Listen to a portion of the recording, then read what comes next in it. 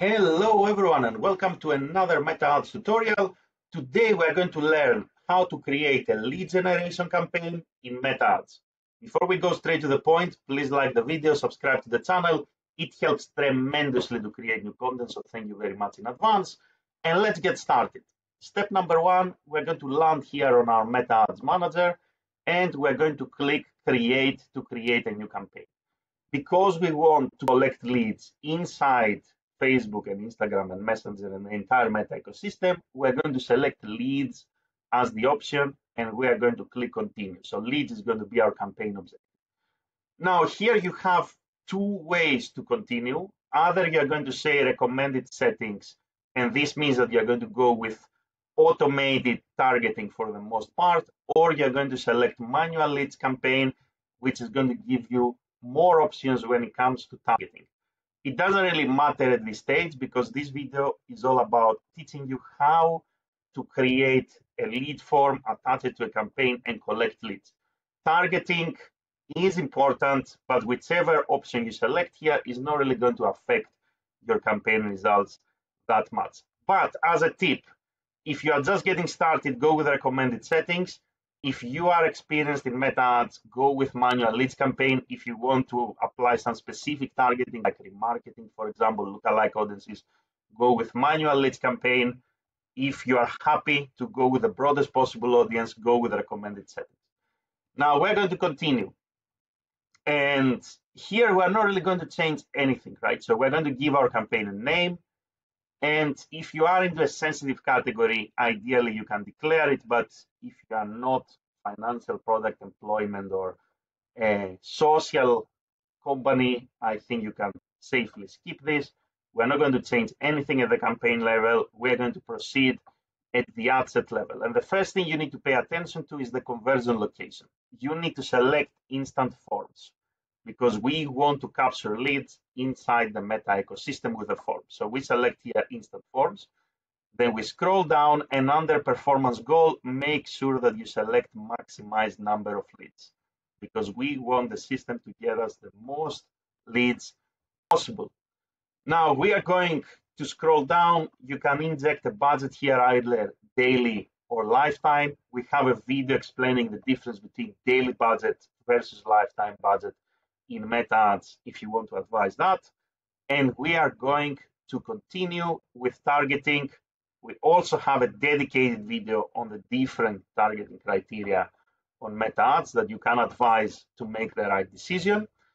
And finally, we are going to go to the ad level, which is the most important part with lead generation. So let's say that we are going to target the right people. We are happy with our targeting. We're going to scroll down and here I'm not going to focus on the creative, I'm going to focus on the instant form because you're going to see under destination this option, instant form. And here you should create a lead form. If you are doing this for the first time, you need to click here, create a form. You are going to give your form a name. So we're going to call it lead gen form. And you have three options. More volume means we're going to create a very simple form that users can actually submit in the quickest possible way. A very simple form that only asks users, for example, for details that are already pre-filled and people can click and submit the form. Higher intent means we're going to create form, but we're going to have some screening questions, some additional questions, like, for example, what is the best way to reach out to you? When is the best time to call you or email you, for example, or how fast are you looking to buy XYZ product, and so forth. And Rich Creative is a new format that allow us actually to have a lot more sections to describe our product and service. So let's actually go with all the three types to actually understand the differences, right? So if we go with more volume, we're going to click next and here, what you can do, optional but recommended, is you can upload the background image, right? So these are the specs here, 1200 by 6 to 8 pixels. And this background image is going to show basically here on top of the form. So you control actually what people are going to see when the form opens.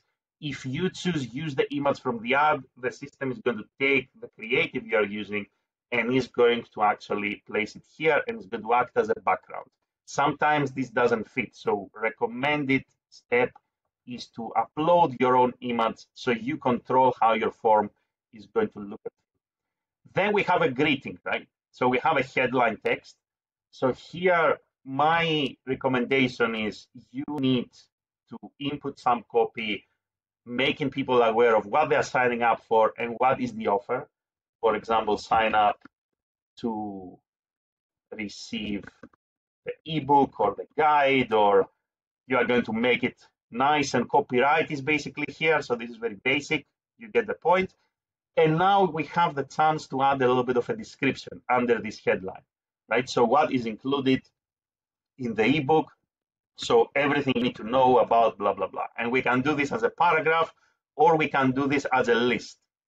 Now, list means we're going to put every unique selling point in a different line, right? So everything you need to know about, let's say, meta ads, uh, learn how to launch campaigns quickly and easily, and so forth. Now, why I always go with paragraph and not with list is because if you select list here, you will see that only the first two options are going to be visible and the user will need to click show more to actually see the rest of your But if you go with paragraph, then you have kind of more room to play with the text and entice the user to submit the form.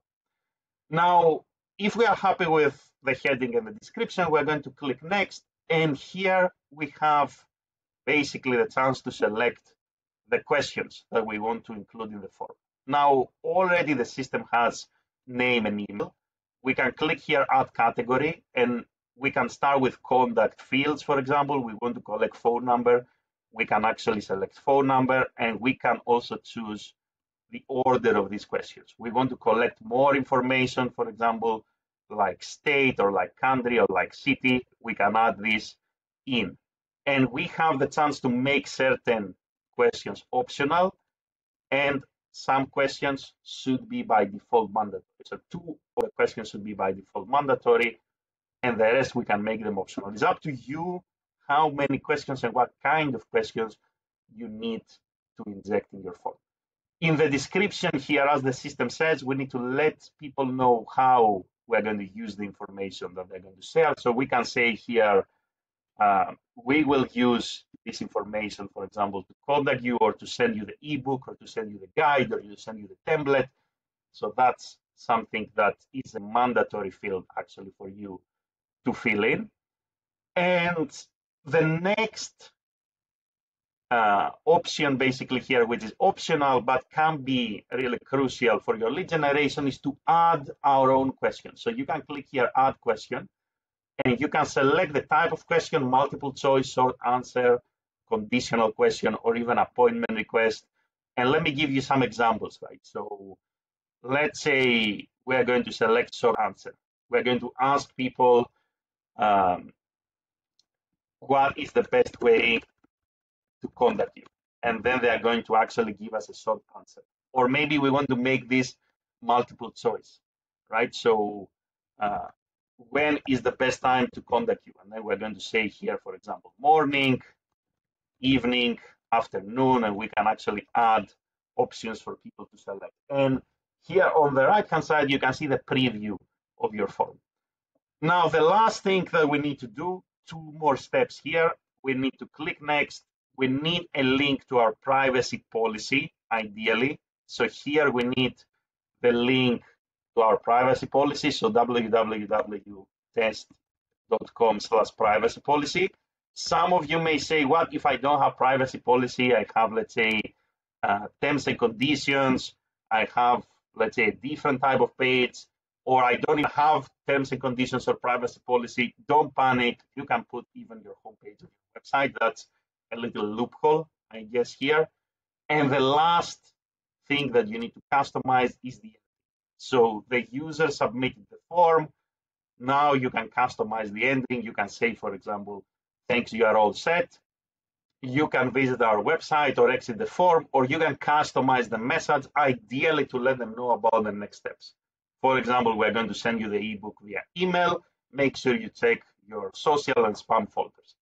And you have the ability to add a call to action in the end of the form.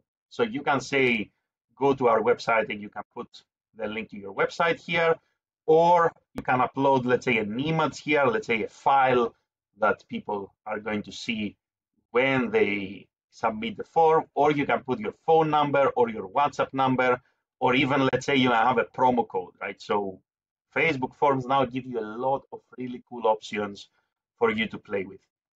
Now, this is the first option, more volume, right? So let's actually select higher intent and see the difference. The difference here is you see that there is a review screen, right? So initially, you're not going to see any difference with what we did before. So you're still going to have to upload the background image, a headline, a description of what this is all about. Then you will need to basically here go with the questions of the form. And the only difference with this option is that you have this review screen, basically, that uh, you are going to inject. And what is this review screen? So as the system says here, it gives the people the chance to look over their information and deliberately clear here. Mm-hmm. And deliberately here, click submit. So it is more intentional essentially, right? So people will be able to review the information review their answers, and they will have to verify that they are correct, and they are going to slide to submit, and then we have the ending, right, which is exactly the same as before. The last form type now is a little bit more intriguing and a little bit cooler, I would say, more fun, but it's creative. So we are going to come here. We are going to add a creative here, which is going to be of a different size versus the previous forms, like a square size. We're going to have a headline, we're going to have an overview that's basically same with the previous forms. But now we have a lot more creative options, right? So we can add information on how, for example, it works. We can add information on what our product, for example, is about, or we can even add, let's say, different products here. We can add social proof and let's say testimonials here. We can also add incentives, so offers, for example, promo codes, disclaimers, and so forth. This is a new type of form. Now, who should use this type of form? If you are selling maybe a product or a service that requires a lot of explanation, it requires to educate people on how it works. If people are submitting maybe a lead form and then you have multiple offers, so let's say you are a real estate agent and you have, let's say, multiple uh, projects that you are working on. If you are, I don't know, let's say an educator, teacher, and you have multiple offers, multiple programs that people can enroll.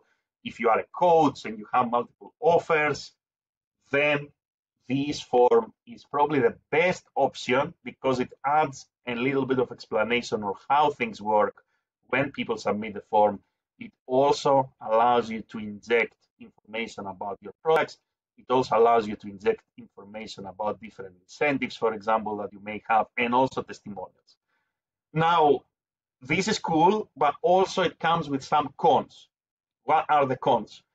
Because you are going to inject this information up front, obviously there is an extra step between clicking the form and going straight into the questions questions privacy policy ending is exactly the same actually with what we explained before, which means that this type of form may actually result in lower conversion rate, but perhaps more intentional leads, right? So to summarize here, more volume is called more volume because there is no screening.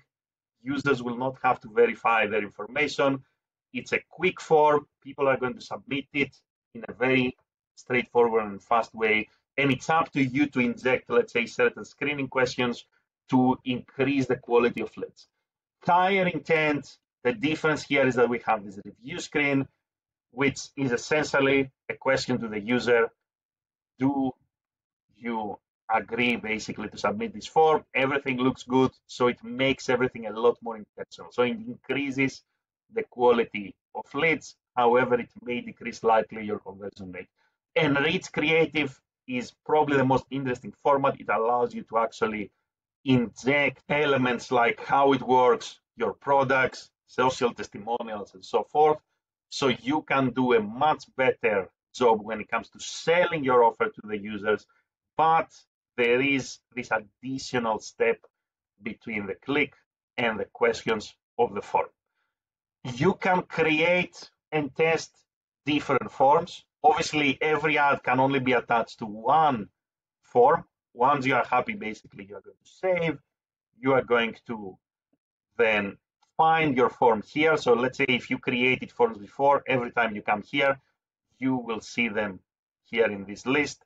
You are going to select the form and you can publish your campaign, right? So what you can do is perhaps maybe create one ad set with exactly the same ads that is going to use form A, another ad set with exactly the same ads, same targeting that is going to use form B. And then you can A-B test the different forms. And from there, all you have to do is basically to publish your campaign and just wait for the leads to come in. Where can you find these leads now? We have another video dedicated on exactly that. All of these videos are linked down to the video description below. So you can actually check on all the previous steps that we discussed, daily versus lifetime budget, targeting on meta ads, where we can find the lead forms, all of this information can be found in the video description, separate videos, so you can go in depth into these topics. That's it. That's how easy it is, I would say, to create a lead generation campaign in Meta Ads. If you have any questions, let me know in the comments. If you found this helpful and you learned something new, please don't forget to like the video, subscribe to the channel. Thank you for watching and have a great day in times. Thank you, everyone.